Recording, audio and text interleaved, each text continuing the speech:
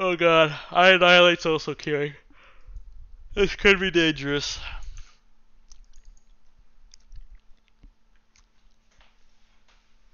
GrandGrant may be making a return as well. I can't I can't make any promises.